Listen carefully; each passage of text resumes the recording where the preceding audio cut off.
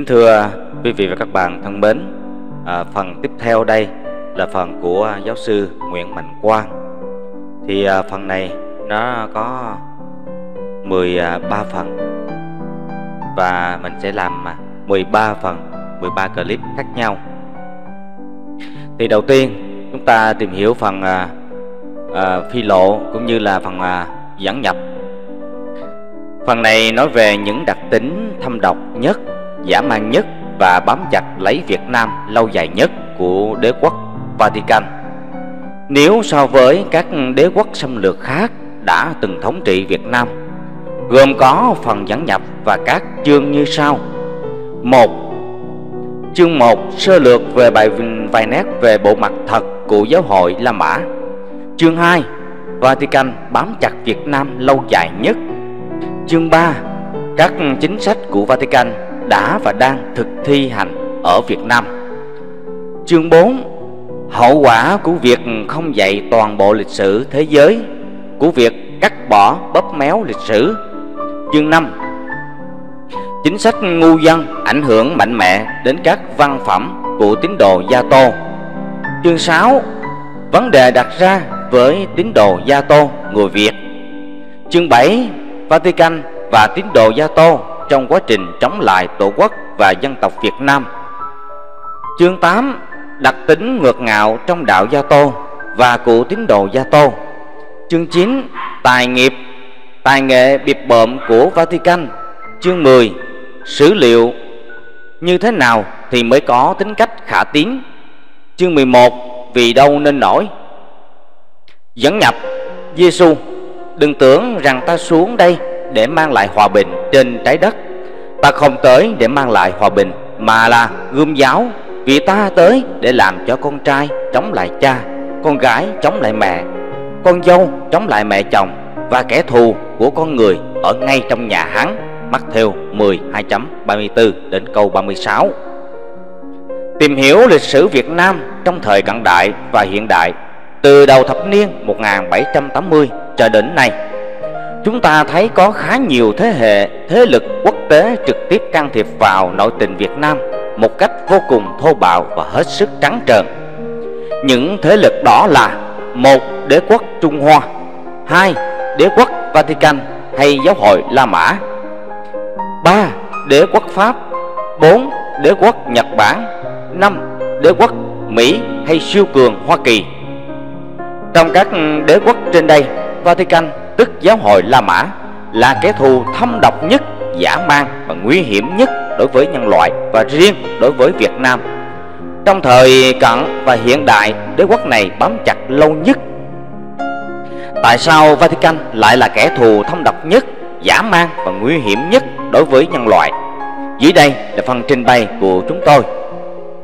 Thứ nhất, thông thường tất cả các đế quốc xâm lược khác đều công khai nhìn nhận là quân xâm lược cướp nước người ta làm thuộc địa. Trái lại, Vatican thì giấu mặt, tàn hình là các nhà truyền giáo của đạo Gia Tô đem đến cho người dân bản địa một tôn giáo mới mà thực chất chỉ là một hệ thống gồm toàn những chuyện hoang đường để mê hoặc và lừa gạt những hạng người ngu dốt, tham lợi, háo danh và kèm theo một chút ít vật chất làm miếng mồi câu nhữ những hạng người đê tiện này theo đạo để làm công cụ cho chúng sử dụng thứ hai, thông thường các đế quốc xâm lược khác đều dùng sức mạnh quân sự tấn chiếm chớp nhoáng cùng mục tiêu rồi mới dựa vào thế mạnh, cùng với danh và lợi để mua chuộc một số người bản địa tham lợi háo danh thèm khát quyền lực, làm tay sai cho chúng trong bộ máy cai trị người bản xứ. Trái lại, Vatican đã có sẵn một kế hoạch trường kỳ mai phục cả hàng thế kỷ bằng một sách lược mê hoặc, lừa gạt và lùa người dân bản địa vào cái trồng gia tô. Để cho Vatican siết cổ khi đã có một số kha khá vào khoảng 5 7 gia đình trở lên thì những gia đình này sẽ bị tách rời khỏi đồng bào sống theo nền văn hóa cổ truyền của dân tộc và được gom lại cho cư ngụ trong một khu vực riêng biệt gọi là xóm đạo hay làng đạo. Sau đó họ được tổ chức thành những đội ngũ được ngụy trang bằng những danh xưng như đoàn thiếu nhi thánh thể, hội thánh du xe, lao công, hội các bà mẹ công giáo, hội con đức mẹ, đạo binh xanh, hội các dòng ba, hội nghĩa binh, hội công giáo tiến hành, ca đoàn trầm mặt, vân vân. Trong thực tế, tất cả các đoàn hay hội này đều là những đạo quân thứ năm, vừa có nhiệm vụ thâu nhập các tín, tức tình báo tại địa phương và các vùng lân cận được cung cấp cho các đấng bề trên của họ vừa có nhiệm vụ nằm hờ, chờ giờ hành động theo chỉ thị của các đấng bề trên thứ ba, thông thường các đế quốc xâm lược, khác chỉ tuyển mộ huấn luyện và sử dụng những người dân bản địa trong bản làm tay sai cho chúng, nhưng thông ngôn, đưa đường, dẫn lối, chỉ điểm, vân vân. Vào khi nào chúng mang quân xâm lược hay đang tiến chiếm quốc gia nạn nhân làm thuộc địa, trái lại, như đã nói ở trên, trước khi tiến chiếm một quốc gia nạn nhân nào, Vatican đã có sẵn một kế hoạch trường kỳ mai phục từ mấy chục năm về trước có khi lâu tới cả chục thế kỷ hay lâu hơn, và đã chuẩn bị đầy đủ những cơ sở cùng những phương tiện huấn luyện, người dân bản địa về những kỹ thuật đánh phá chính quyền bản địa. Chuẩn bị cả người được đưa lên cầm quyền theo sách lược đã hoạch định trước. Thứ tư, thông thường các đế quốc xâm lược khác hoàn toàn trông cậy vào sức mạnh quân sự hay thế lực mạnh tài chánh hay chính trị của chính bản thân để tiến chiếm quốc gia nạn nhân khi các đế quốc Trung Hoa, Nhật, Anh, Đức, Hòa Lan đem quân tấn chiếm một quốc gia nào thì chính bản thân các đế quốc này đem quân chinh phục rồi mới sử dụng những dân bản địa làm tay sai cho chúng trong các công việc bình định và quản trị nhân dân. Trái lại, đế quốc Vatican đã có sẵn một kế hoạch sử dụng tín đồ Gia Tô bản địa để đánh phá, làm cho quốc gia, nạn nhân trở thành bất ổn, rồi sau đó mới. Một, hoặc là dựa vào sức mạnh của tín đồ, thừa thắng xông lên cướp chính quyền để thiết lập chế độ đạo Việt Gia Tô theo đúng phương châm hành động. Chính quyền Gia Tô phải do quân đội Gia Tô bảo vệ. Hai, hoặc là gửi các nhà thuyết khách đem theo những tài liệu tình báo đã thâu được và những dữ kiện về các đạo quân thứ năm bản địa làm vốn liếng chiến thủ đố chiến thủ đô của một đế quốc Âu hay Mỹ uống lưỡi tô tần thuyết phục để đế quốc này liên minh với Vatican và xuất quân chinh phục. Quốc gia nạn nhân để cùng thống trị, cùng cướp đoạt tài nguyên, cùng bóc lột và và và và cùng nô lệ hóa dân tộc nạn nhân sách lược này được sách sử ghi nhận lại như sau Bản nghiên cứu về tiêu chuẩn lịch sử cho thấy rằng giáo hội La Mã đã sử dụng một sách lược hành động trong nhiều thế kỷ là đồng hóa, liên kết các mục tiêu tôn giáo của giáo hội với mục tiêu của một cường quốc thế tục đương thời. Như chúng ta đã thấy, giáo hội đã sử dụng cách sách lược này ở Á Châu vào những thời kỳ Bồ Đào Nha, Tây Ban Nha và Pháp đang là những đại cường đang lên. Ở Âu Châu, sách lược trên đây cũng chỉ được áp dụng nhiều lần trong thế kỷ 20 này. Có lúc giáo hội đã liên kết với nước Pháp, liên kết với đế quốc Gia To Áo, Hung trong thời đệ nhất thế chiến. Rồi trước và trong thời đệ nhị thế chiến thì giáo hội lại liên kết với các chế độ độc tài Ý và Đức của phe hữu. Bằng cách đồng hóa với các cường quốc trên đây vào thời đang lên về các quyền lợi kinh tế, chính trị và chiến tranh giáo hội đã thâu tóm được rất nhiều quyền lợi vì rằng không còn sự siêu cường nạ, gia tô nào kể từ khi đệ nhị thế chiến chấm dứt mang sự hủy, hủy diệt của chế độ phát xít ở Âu Châu. Giáo hội La Mã quay ra chọn Hoa Kỳ để liên kết thành một liên minh chính trị. Đây là hành động để đối phó với sự bành trướng của nghĩa Cộng sản Bolshevik và siêu cường Nga Xô sau thời đệ nhị thế chiến Tình trạng này khiến cho cả giáo hội La Mã lẫn Hoa Kỳ cùng lo sợ và bắt buộc hai thế lực này liên kết với nhau thành một liên minh thực sự trong thời chiến tranh lạnh. Thứ năm, một khi đã chiếm được chính quyền rồi, Vatican sẽ dùng chính sách chia để trị, xé nhỏ quốc gia nạn nhân thành nhiều mảnh nhỏ theo biên giới địa lý, sắc tộc và tôn giáo, biến mọi mảnh nhỏ này thành một tiểu quốc rồi tìm kiếm một hay một số tín đồ khả tín tại địa phương đó đưa lên cầm quyền thiết lập chế độ đạo Việt Gia Tô để làm tay sai cho Vatican. Các chính quyền đạo Việt này đều có hội đồng giám mục. Đại diện của Vatican ở hậu trường chỉ đạo được lệnh phải thiết lập bộ máy cai trị bằng các tổ chức công an, mật vụ và cảnh sát như Thiên La, Địa Võng, rồi dùng tất cả các phương tiện của nhà nước để, một, cưỡng bách nhân dân phải theo đạo Gia bầu hai, kiểm soát hết tất cả mọi phạm vi sinh hoạt, kinh tế, tài chính, văn hóa, giáo dục, xã hội, vân vân. Để tận tình thu vơ tài sản, của cải, rồi gom lại tích lũy vào trong kho nhà chúa, gọi là của nhà chung. Sự kiện này được sách sử ừ, ghi nhận như sau. Về các vấn đề tôn giáo trước khi Kitô giáo ra đời các tôn giáo trên thế giới đều có mặt đặc tính khoan dung. Một trong những thông điệp mà của Delphic Aracli là mọi người đều đúng cả, chẳng có ai quấy. Nguyên tắc của người La Mã thời bấy giờ là tôn giáo ở trong vùng nơi bạn cư ngụ, là tôn giáo của bạn. Trong tâm trí và trong cách ứng xử của người đời, bấy giờ là không có sự liên hệ gì giữa tôn giáo và chân lý tôn giáo không được coi như là một sự thật. Vì thế cho nên trước khi có đạo Kitô, không có chiến tranh tôn giáo, không có chuyện bách hại tôn giáo và cũng không có người nào gọi là tử đạo cho niềm tin tôn giáo của họ cả. Lúc bấy giờ, không có ai cố chấp áp đặt tôn giáo hay cưỡng bách, bắt buộc người khác phải theo tôn giáo của mình. Chỉ có những người Kitô giáo mới sản xuất ra chiến tranh tôn giáo, gây nên vụ bách hại tôn giáo và tạo nên những người tử đạo.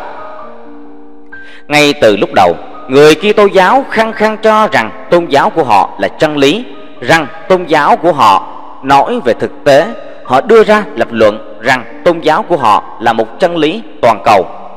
rằng Kitô giáo mới là tôn giáo đích thực, vì thế cho nên mọi hệ thống triết lý khác và mọi hệ thống kiến thức khác kỳ ngành hoạt động nào của các con người của con người có liên hệ với chân lý đều phải hài hòa với tôn giáo đích thực là Kitô giáo. Trái lại, đó chỉ là một hệ thống triết lý giả, một kiến thức giả, tất nhiên là mọi tính cách của đạo đức đều từ Kitô giáo mà ra.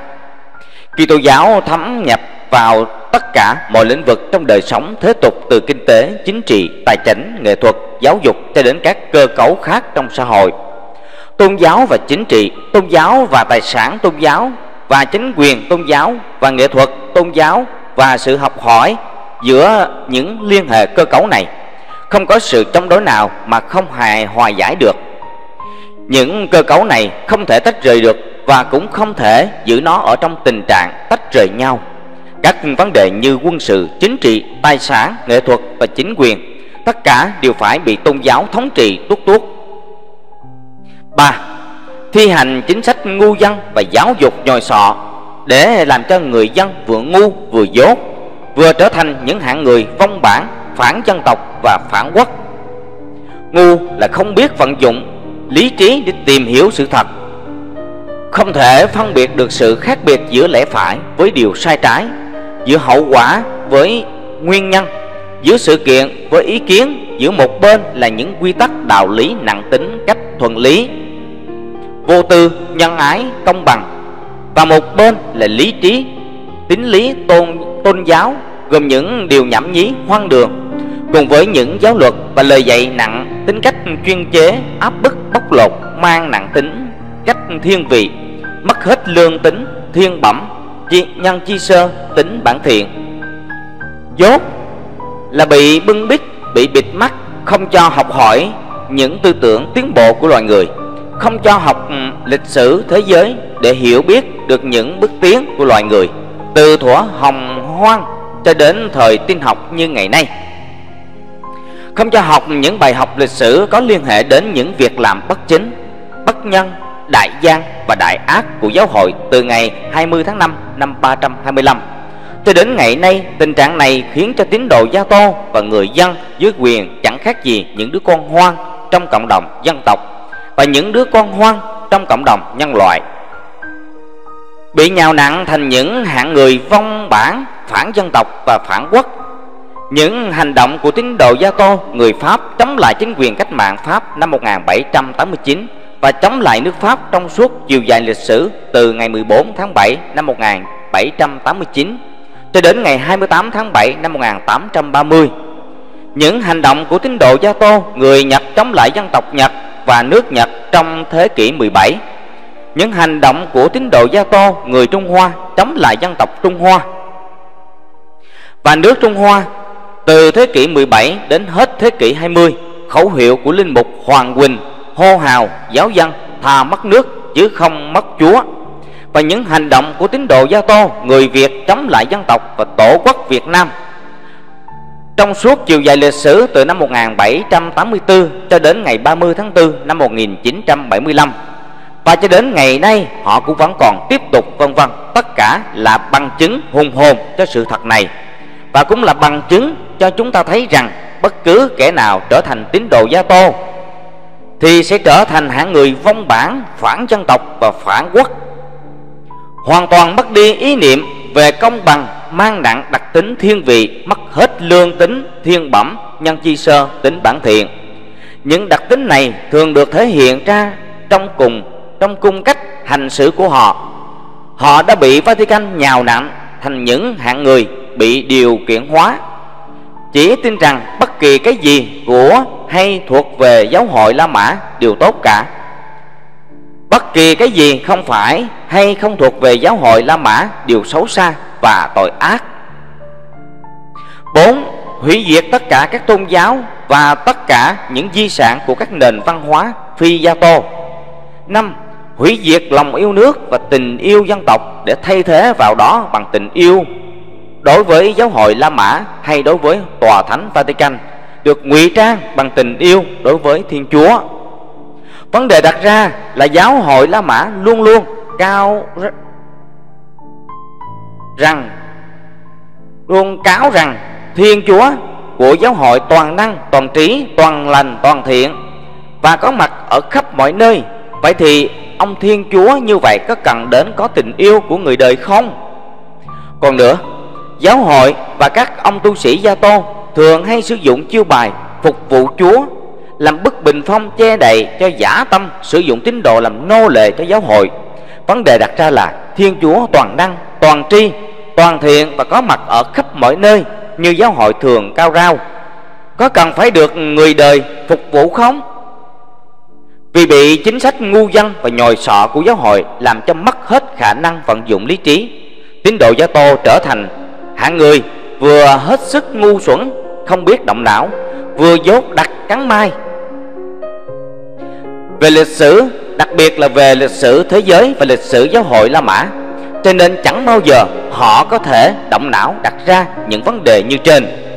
Hậu quả là bất kỳ dân tộc nào bất hạnh rơi vào ách thống trị của Vatican thì dân tộc đó sẽ mang cái đại họa vừa nghèo đói vừa lạc hậu vừa chậm tiến vừa ngu dốt. Đây là tính cả tình cảnh Âu Châu trong thời Trung Cổ. Croatia ngày nay các cụ thuộc địa của Tây Ban Nha ở châu Mỹ Latin, Phi Luật Tân, các xứ cụ thuộc địa của Bồ Đào Nha ở Phi Châu, của Bỉ và tất cả các thuộc địa của Pháp ở nhiều nơi trên thế giới trong đó có quốc gia Đông Dương, vân vân. Tình cảnh được nêu lên trên đây là những bằng chứng bất khả phủ bác cho sự thuật này. Sách The Rich Church cũng ghi lại rõ ràng với nguyên nhân văn như sau sự trái ngược giữa các nước nghèo khó ở Nam Âu và sự phồn thịnh của các nước ở Bắc Âu thật là quá rõ ràng. Nước Anh tin lành đã trở thành một cường quốc trên thế giới và đang trên đường trở thành một trong các đại đế quốc thương mại. Nước phổ tin lành giàu có và hùng mạnh, nước Hòa Lan tin lành đã khởi tiếng việc ngoại thương và xứng đáng được mang trước hiệu tước hiệu đế quốc một du khách đi từ Bắc và Trung Âu tới nước Pháp và bán đảo Tây Ban Nha rồi qua Ý Đại Lợi sẽ thấy sự tương phản về kinh tế, mức sống và trình độ học vấn tổng quát của người dân trong các quốc gia này. Ở Bắc và Trung Âu phần lớn là tin lành, không có quốc gia nào rơi vào tình trạng đói chết và nghèo khổ triền miên như các nước ở miền Nam Âu. Chủ nghĩa tư bản cổ điển đã lỗi thời và các quốc gia theo đạo tin lành cũng đã thức thời và sẵn sàng từ bỏ nó để làm lời cho đất nước. Các nhà chính khách và vua chúa ở các quốc gia Nam Âu cho rằng tòa thánh La Mã và chế độ giáo hoàng phải chịu trách nhiệm về sự suy thoái và thua kém của nước họ so với các nước theo đạo tin lành. Đây cũng là lý do tại sao các nhà viết sử lại gọi thời Trung Cổ ở Âu Châu là thời hắc ám. Tại sao văn hóa Voltaire gọi là đạo Gia Tô là cái tôn giáo ác ôn? Tại sao người Pháp lại gọi các ông tu sĩ Gia Tô là lũ quả đen? Và tại sao học giả Henry Guillemin gọi là giáo hội La Mã là cái giáo hội khốn nạn? Thứ sáu, sau khi bị đánh bại và phải rút quân về nước thường thường các đế quốc xâm lược khác dứt khoát không nghĩ đến việc đem quân tái chiếm các thuộc địa cũ mà tính chuyện thiết lập ban giao với tân chính quyền cũng vì thế mà bọn phản bản địa, phản quốc đã từng muối mặt làm tay sai cho các đế quốc này. Dù đã à, cuốn gói ra đi với quan thầy hay ở lại trong nước, cũng đều yên phận, sống đời lương thiện, mưu sinh nuôi sống nuôi sống gia đình. Và nếu có hoàn cảnh, họ cũng hăng say tích cực, góp bàn tay cùng với đồng bào xây dựng đất nước. Năm 1783 đế quốc Anh bị Mỹ đánh bại và rút khỏi nước Mỹ vào năm này không còn có thằng Mỹ Giang nào đã từng làm tay sai cho Anh tiếp tục đánh phá chính quyền và nước Mỹ đầu năm 1789 Giặc Thanh bị quân ta đánh bại và rút về Tàu. Không còn có thằng Việt Giang nào đã từng làm tay sai cho giặc Thanh tiếp tục đánh phá chính quyền, nhà Tây Sơn của dân tộc ta và tổ quốc Việt Nam. Đầu tháng 5 năm 1945 Đức Quốc xã đã bị quân đội đồng minh Mỹ, Anh, Nga, Pháp đánh bại Và chế độ Đức Quốc xã bị sụp đổ Không còn có thằng Pháp Giang nào. Đã từng muối mặt làm tay sai cho nước nước Đức Tiếp tục đánh phá chính quyền đệ tứ Cộng Hòa và nước Pháp. Tháng 8 năm 1945 Nhật bại trận rút khỏi lục địa Á Châu về chính quốc. Không còn có thằng Hán Giang nào đã từng muối mặt làm tay sai cho Nhật tiếp tục và đánh phá chính quyền và nước Trung Hoa. Trái lại, Vatican thì hoàn toàn khác hẳn. Ngày 14 tháng 7 năm 1789, chính quyền đảo Việt Gia Tô Louis thứ 16 bị lật đổ. Vatican tìm cách vận động các nước phổ, Áo, Anh và Nga thành lập các liên minh thánh đem quân tấn công vào nước Pháp, lật đổ tăng chính quyền và hủy diệt hết tất cả các công trình cách mạng Pháp năm 1789, phục hồi chế độ đạo Việt Gia Tô, đồng thời ra lệnh cho bọn quả đen bản địa xúi dục giáo dân tại các vùng Bretagne, Normandy và Vendée nổi loạn đánh phá chính quyền cách mạng và tổ quốc Pháp làm nội ứng tiếp tay cho các đoàn quân xâm lăng của các liên minh thánh do Vatican vận động thành lập. Ngày 9 tháng 3 năm 1945, Liên minh Pháp Vatican bị Nhật hất cẳng ra khỏi chính quyền Đông Dương. Rồi ngày 15 tháng 8 năm 1945, Nhật đầu hàng đồng minh. Những ngày kế đó, dân ta thừa thắng xông lên đòi lại chính quyền cho dân tộc. Và ngày 2 tháng 9 năm 1945, Chính phủ Việt Nam Dân Chủ Cộng Hòa dưới quyền lãnh đạo của cụ Hồ Chí Minh công bố cho toàn thể nhân loại trên thế giới biết rằng nước Việt Nam ta đã hoàn toàn độc lập. Thế nhưng Vatican lại đưa tên giám mục Antonio Rapier, khâm sứ tòa thánh Vatican tại Hà Nội công khai xúi dục nhóm thiểu số tín đồ bản địa nổi loạn tiếp tay cho đoàn quân viễn chinh liên minh Pháp Vatican một cách hết sức trắng trợn gây nên cuộc chiến tranh bản thiểu kéo dài cả 9 năm trường giống y hệt như Vatican đã làm trong giới cách mạng Pháp năm 1789 năm 1815. Ngày 7 tháng 5 năm 1954, Liên quân xâm lược Pháp Vatican bị thảm bại tại tập đoàn cứ điểm Điện Biên Phủ Pháp nghiêm chỉnh thương thuyết với phái đoàn của chính quyền kháng chiến Việt Nam tại hội nghị Geneva rút quân về nước công nhận chủ quyền độc lập của dân tộc Việt Nam và thiết lập ban giao với chính quyền Việt Nam ta. Kể từ đó, liên minh xâm lược Pháp Vatican tăng vỡ. Thế nhưng Vatican vẫn ngon cố, vẫn không bỏ cuộc, vẫn còn muốn bám chặt lấy Việt Nam như loại đĩa đói, quay ra tìm cách vận động Mỹ thành lập liên minh xâm lược Mỹ Vatican, đưa thằng Tam Đại Việt Giang, Gia Tô, Ngô Đình Diệm về cầm quyền. Vi phạm điều khoản quy định việc tổ chức tổng tuyển vào tháng 7 năm 1956 của Hiệp định Geneva năm 1954 để thống nhất đất nước với giả tâm, duy trì Việt Nam mãi mãi ở trong tình trạng chia đôi. Gây nên cuộc chiến Bắc Nam kéo dài gần 20 năm trường. Vì bọn Gia Tô Việt Giang làm tay sai cho Vatican và cho Mỹ cực kỳ tham nhũng và hết sức bạo ngược, khiến cho miền Nam Việt Nam nát bấy như tương bằng. Yên nhân, vì bị nhân dân, thế giới lên án kịch liệt vì bị nhân dân Hoa Kỳ chống đối dữ dội, chính quyền Mỹ đành phải thương thuyết và nghiêm chỉnh với chính quyền Việt Nam tại hội nghị Paris năm 1968 năm 1973 để rồi rút khỏi miền Nam vào ngày 30 tháng 4 năm 1975 và tới năm 1994 chính quyền Mỹ đã tái lập ban giao với chính quyền Việt Nam ta. Thế nhưng Vatican vẫn ngoan cố, Vẫn không bỏ cuộc, Vẫn tiếp tục sử dụng bọn quả đen. Xúi dục nhóm thiểu số thà mất nước chứ không thà mất chúa, Đánh phá tổ quốc và chính quyền Việt Nam. Theo sách lược cố hữu quậy cho nước đục để thả câu. Và không được ăn thì đạp đổ. Mà Vatican đã sử dụng từ ngày 20 tháng 5 năm 325 cho đến ngày nay. Bằng chứng là một Ngày 15 tháng 3 năm 2001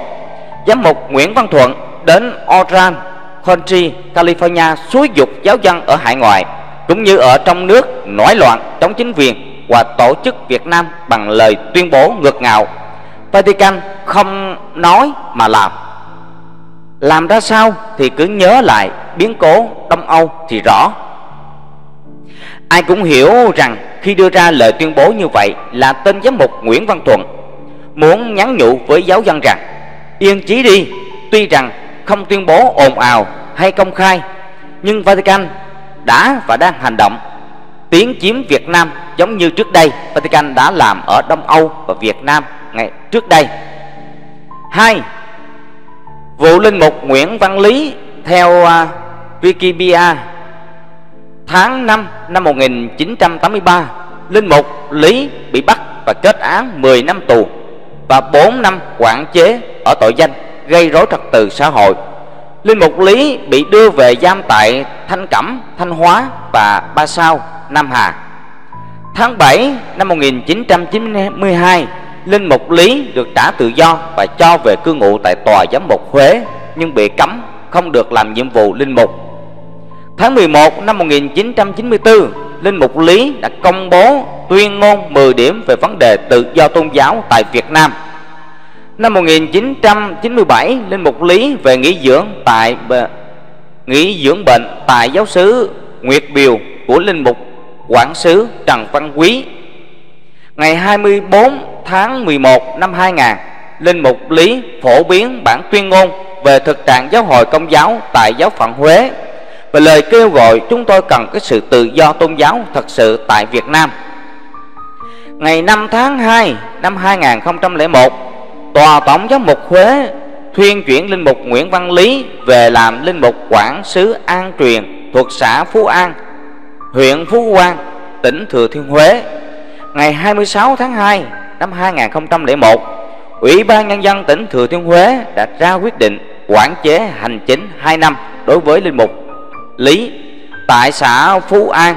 vì lý do sử dụng tòa giảng để kích động giáo dân chống phá chính quyền. Ngày 19 tháng 10 năm 2001, Tòa án Nhân dân tỉnh Thừa Thiên Huế đã xét xử và tuyên án Linh Mục Lý 15 năm tù giam, 5 năm quản chế tại địa phương nơi cư trú về hai tội phá hoại chính sách, đoàn kết và không chấp hành quyết định hành chính của cơ quan nhà nước có thẩm quyền về việc quản chế hành chính. Điều 87 và điều 269 Bộ luật hình sự. Linh Mục Lý sau đó bị đưa về giam tại Ba Sao, Nam Hà. Trong những hành động gây rối này, có cả yêu đò, yêu sách đòi lại khối tài sản bất động sản của giáo hội La Mã đã bị chính quyền tịch thu. Ngoại trừ những tín đồ gia tô cuồng tín, ai cũng biết rằng khối bất động sản này là một phần trong những khối tài sản kết xù mà giáo hội đã ăn cướp của dân ta trên toàn cõi Việt Nam trong thời năm 1862, năm 1954 và ở miền Nam Việt Nam trong những năm 1954, năm 1975. Sự kiện này đã được các nhà viết sử trình bày khá đầy đủ trong các sách A. À, thập giá và lưỡi gươm của Linh Mục Trần Tâm Tĩnh Trang mục sản xuất năm 1978, trang 48 đến trang 49 B. Đối thoại với giáo hoàng John Paulo đệ nhị của nhiều tác giả Gander, Grover, C.A. Giao điểm năm 1996 trang 242 đến 245 C. Vatican thú tội và xin lỗi của nhiều tác giả Giao điểm năm 1996 trang 184 199 D. Việt Nam đệ nhất Cộng hòa toàn thư năm 1954 năm 1963 của Nguyễn Mạnh Quang Houghton Thất sạch văn hóa âm 2000 trang 399 432 và trong lá thư ngõ gửi giáo hoàng John Paul đệ nhị, đề ngày 19 tháng 9 năm 1999 in trong cuốn sách này, nơi các trang 547 580 558 E. Bộ sách lịch sử và hồ sơ tội ác của giáo hội La Mã, phần 3 mục X, sẽ được đưa lên sách hiếm.net và giao điểm online.com trong một ngày gần đây. Vì hành động gây rối chống lại Tổ quốc Việt Nam như vậy, Linh Mục Lý bị chính quyền Việt Nam bắt giữ vào ngày 1 tháng 5 năm 2001. Nhân việc Linh Mục Lý bị bắt giữ, Vatican ra lệnh cho các cơ quan truyền thông tay sai của Vatican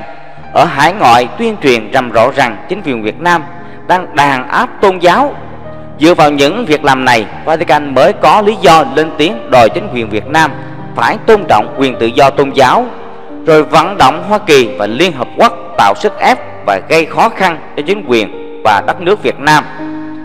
Những tưởng rằng trong thời gian bị giam giữ quả đen lý đã biết ăn năn bởi việc làm tội ác của hắn, cho nên chính quyền đã khoan hồng và giảm án và phóng thích cho hắn về sớm hơn. Thế nhưng, Ngựa quen đường cũ, Không biết hắn có bị các tấn bề trên xúi dục Tiếp tục hoạt động chống phá chính quyền hay không. Sự thật như thế nào Chỉ có Vatican và nhà cầm quyền Việt Nam biết rõ. Nhưng có điều chắc chắn là Ngày 18 tháng 2 năm 2007 Chính quyền bắt được Tại tư gia nhà hắn Những đồ thiết bị Và một khối tài liệu được coi Như là trái với luật pháp hiện hành quy định Xin xem lại chương 11 đã đưa lên sách hiếm.net và giao điểm online.com từ tháng 1 10 năm 2007. 3. Từ mấy năm nay, quả đen Nguyễn Hữu Lễ và đồng bọn hô hào và thỉnh cầu Vatican cho phép chúng được đổi tên thành phố Hồ Chí Minh trở lại là Sài Gòn giống y như bọn quả đen Pháp trong thời cách mạng Pháp năm 1789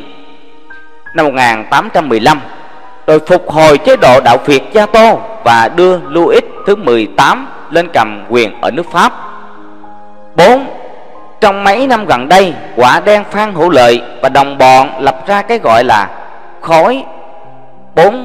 48406 nói là tranh đấu dân chủ cho Việt Nam, nhưng chúng ta, chúng lại không đả động gì đến chế độ giáo hoàng. Là một chế độ cực kỳ chuyên chế, cực kỳ toàn trị, cực kỳ phong kiến và cực kỳ lạc hậu. Năm, mới đây, giám mục ngô quang kiệt lại chơi cái trò chống lại chính quyền và tổ quốc việt nam qua việc đưa ra lời tuyên bố đòi chính chiếm lại mảnh đất đã bị chính quyền ta đòi lại, sau khi đã bị Vatican cướp đoạt trong thời năm 1862 năm 1954. Hành động ngược ngạo này giống y hệt như hành động linh mục Nguyễn Văn Lý đã làm trong năm 2001 như đã nói ở trên. Phần 2 của tập sách này sẽ làm sáng tỏ những điều nêu lên trên đây Riêng về những điều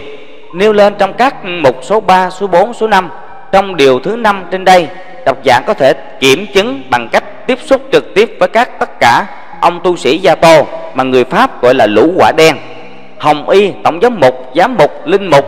sư huynh cũng như các bà nữ tu. Và tín đồ gia tô ngoan đạo người việt hay đọc các ấn phẩm của họ. Nhất là những ấn phẩm của những người đã có bằng đại học, hay tự xưng là trí thức như nguyễn văn chức, nguyễn cần, đức lữ giang hay tú Gàng, nguyễn gia kiển, lê hữu mục nguyễn à, gia đệ bằng phong phạm xuân thu trần trung lương nguyễn văn trung nguyễn văn lục nguyễn vi khanh linh mục vũ đình hoạt linh mục phan phát huồng linh mục bùi đức sinh vân vân tất cả họ đều mang những căn bệnh mà chúng tôi đã nêu lên trong các mục số 3, 4, 5 trong điều thứ năm trên đây. Xin cảm ơn quý vị đã chú ý lắng nghe. Đó là phần à, phi lộ cũng như là phần dẫn nhập ở trong cái à, chương tiếp theo mà giáo sư Nguyễn Mạnh Quang muốn nhắn gửi đến quý vị và các bạn. Xin à, mời quý vị và các bạn chú ý lắng nghe và có thể đăng ký kênh à, để tìm hiểu thêm à, phần lịch sử của nước ta cũng như phần à, à, lịch sử của Vatican coi thử nó đàn áp và nó bành trướng như thế nào chiếm đóng à, Vatican chiếm đóng à, ở nước ta đã quá lâu thậm chí đưa những người ngu dân à, đã và đang hiện hành trên 2021 hiện hành vẫn còn sờ sờ đó. Cho nên không có chối cãi ở đâu xa hết lâu lâu thỉnh thoảng trội lên à, giành đất giành cát rồi à, vu khống vu vạ ăn vạ nói chính quyền không có tự, đàn áp tôn giáo không cho tự do tôn giáo đó là những cái mưu mánh để kích hoạt để kích động à, thế giới lên tiếng. Đó là những cái mưu à, lược những cái thông độc nhất mà Vatican muốn gửi gắm à, hàng thế kỷ này đến à, những người à, theo đạo Gia Tô hay Kitô giáo.